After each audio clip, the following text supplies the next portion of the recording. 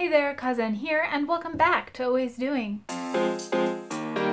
Today I have part one of my May wrap-up. Yes, I read enough books to have a part one. This is good news. Um, first, some life updates. As you can see, I have new glasses. This is very, very new. I actually picked these up just a few hours ago. I am not used to them. And my old glasses is actually the pair that I brought with me to Japan when I came here something like 12 years ago so the prescription was way out of date and I have grown very used to them on my face. Actually, the pair I had before that, only for two years, but that pair too was exactly the same and my husband has only ever seen me in those glasses.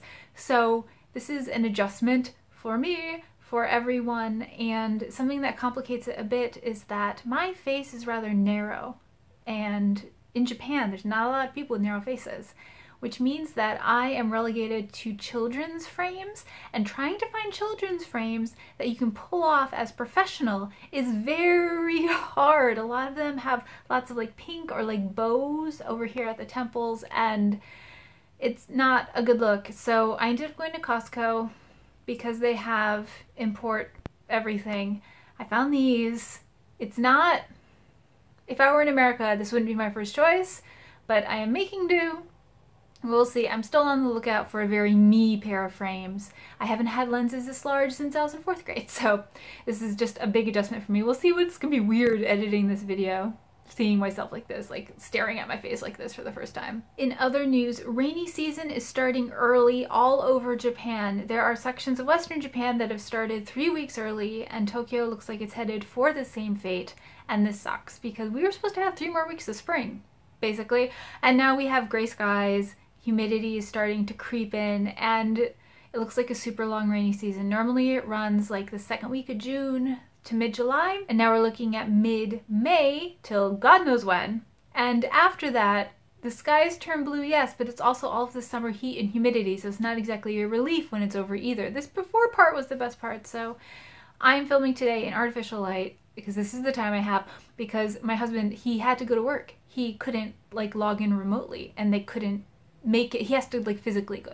It's a mess. So it's been a day, but I'm going to try and gather and like funnel this energy into a great wrap up. I have four books. There's a BookTube prize book, there's poetry, has been a while, as well as some romance, which is where we're going to start. First is Cinnamon Roll by Anna Zabo. I went kind of in depth into this in my Cinnamon Roll characters video, which I will link down below. That was a recent video about all kinds of cinnamon rolls, which are characters that are a bit too good for this world.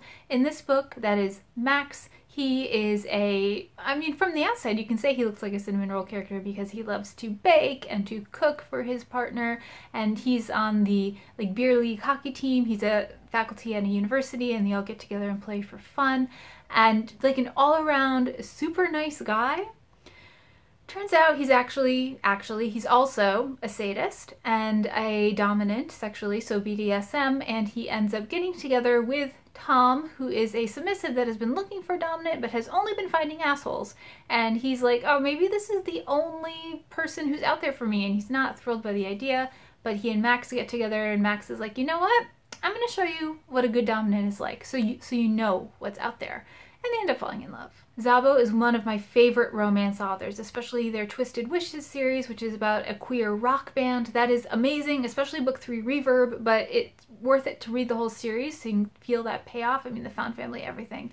And this book I love for many of the same reasons. They said that while they were writing this, it was pandemic and they just decided to throw everything they love into it and it shows because there's there's the baking and there's the hockey. Uh, they're a big Pittsburgh Penguins fan, um, and there's also the the sex and all these other things that you can tell they love, and it makes it feel warm and wonderful, and it proves that you can have a sadist who is a cinnamon roll, that those are not mutually exclusive.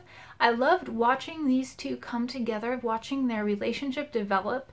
Every single sex scene, and there's a bunch of them, and I will have content uh, notes linked down below because there's a lot going on in this book, but every sex scene has meaning and furthers the relationship and helps them realize things about themselves and each other. Tom is wondering if maybe he's aromantic, he might be demi-romantic, he's not sure, he's working his way through that, and all of this other stuff. It was a joyous, wonderful read that I, it was right book at right time, and that's pretty much every Zabo book. It's always a good time for a Zabo book for me. This is part of a larger series called Bold Brew. This was book number nine, I believe, but every single one is designed to stand alone. They're all by different authors, actually, and they loosely relate. I think this book had some cameo appearances of somebody who appeared in the last book, like that kind of thing, but that's a, it's fair, it's really self-contained. I didn't feel like I was losing anything reading just this one. And yes, very enjoyable, just what I needed. If you want to know more, do check out that cinnamon roll video because I get a bit more in depth there. After that, I wanted some off-the-wall science fiction romance, and Grace Goodwin is an author that actually half swore off after reading one of her previous books. I'll see if I can find the wrap-up where I talk about that book down below, because that book, while it appears to be subversive, I mean, there's a triad, it's a woman and two men, and it's off in space and all this off-the-wall stuff, it weirdly underpins traditional Christian values. While it's doing that, it was odd and it was just weird. And I, I was like, okay, no more Goodwin for me. But then I read the jacket copy for the first Starfighter and I knew I just had to read it to see how it would turn out because it sounds amazing because there's an alien race out there that is losing a war against very bad empire type people and they need more starfighters they need more pilots for their spaceships and so what they do is they design a video game it's actually their training program that they use in their own world and so they make that a video game sell it on earth. It does gangbusters and it's very difficult. And this woman our heroine is the first one to actually complete the game. And when she does um, there's her like partner in the game it's kind of like co-pilot and uh, it was somebody that she was able to build using features like you know what kind of eyes what kind of uh, face what kind of all those things. And that person is like will you come and will you be my partner forever as we fight the thing. And of course you click yes. And then and she's like okay that was a great game. Excellent. Let's see what comes next. And then that the next day uh, that dude that actual guy that was in the game ends up showing up at her doorstep and saying hi i'm here. We are off to go save the universe from the evil people. And she's like wait what? So this is where she learns that it wasn't just a game and she ends up going off with him to a different part of the universe to fight the bad guys and fall in love along the way. And there was the premise is the strongest part of this. There were a lot of other bits that either bothered me or that I had outright problems with. First of all, as I was reading, I didn't realize that there's an 80s movie of basically the same name with basically the same premise and it started like once I knew that it felt kind of like a ripoff.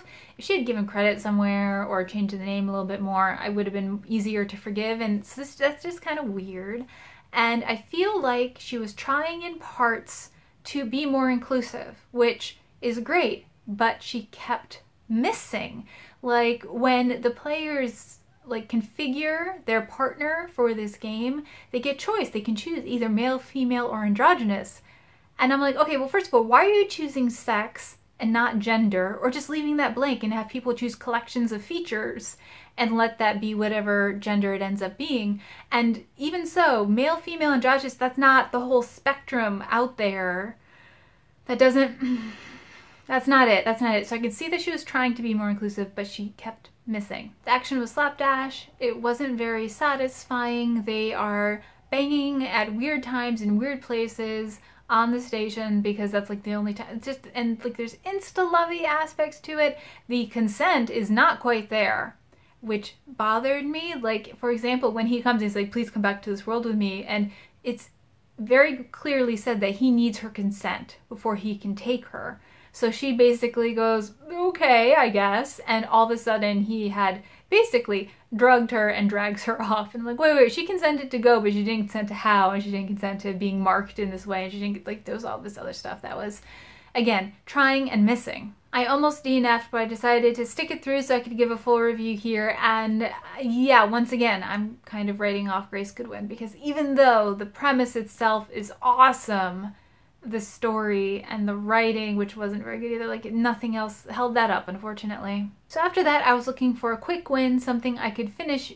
quickly, easily, and I saw Cara over at Wild Book Writing, I'll link her down below, talking about Light for the World to See by Kwame Alexander. This is poetry, And the audiobook is grand total 15 minutes or so, so I turned it on while I was cooking and I ended up listening to the poems I think twice. And I say poems because it starts off with an introduction where he talks a little bit about his life and some of the first protests that he went to and what that meant to him. And that was super interesting, liked that. And then it goes into the three poems. And the production of these is so good. They are backed by original music and especially the first poem, I was instantly taken like, okay, this has to be listened to on audiobook because this experience is singular within itself. And that first poem I absolutely loved. Um, it turns out that the book itself, like the print book, is also highly designed and it's not just words on a page. There's lots of graphic elements to it as well. So I'm, I do not want to say that, you know, audiobook is the way to go. I think both of them are going to be very different and interesting and well produced, well put together experiences. Loved that first poem. It hit me right in the gut. Really good. The second poem and the third poem didn't grab me quite as well, unfortunately. Nothing I can put my finger on in particular, but it just didn't have the same power or the same punch or the same whatever they were good, but it didn't hold up to the same level as that first poem. So I ended up giving this, I forgot we have three or three and a half stars because the intro and the first poem were excellent. And the second and third and it, it was so short. I was even surprised because I mean, 15 minutes, I was halfway, not even halfway through making dinner, so I ended up going back and listening again. But yeah, so um, glad I read it, but um, yeah, you'll have to try it and see if the poems hit you different. They might. And the last book I finished was a BookTube prize book. If you are not aware of the prize, I will leave all kinds of links down below. I'm judging nonfiction, so this is a nonfiction book. And this is a book that has a lot of hype, and I see why. It was good. The way it was put together and coming at the subject from different angles was fascinating and interesting. However, I mean, it didn't, it was good. It was good. It wasn't above and beyond for me it wasn't like it was hard to read. I was able to get through it just fine. It wasn't like I didn't learn anything. I learned a bunch, but I had some nitpicky stuff that I can't get into here because it would give away what it is that bugged me. And not big bugged me, but just little bugged me. And I think that with a little bit more work, it might have been even better. So, and also the selection of what was talked about, I would have liked to see widen out a little bit. And again, I know this makes no sense because you don't know what book I'm talking about, but that's another reason why you should check out my BookTube Prize vlog when it comes out, which will be right at the end of the month after the results are announced. I hit the publish button pretty much as soon as I can after that. So look forward to that to help clear up all of this vagueness that you have now. So those are the books that I finished in the beginning of May, as well as some life updates. And if you'd like to talk about any of it, the books, the life, whatever, how you doing, let me know down in the comments below. Thank you for watching. Subscribe if you're new, and I'll see you in the next video. Bye.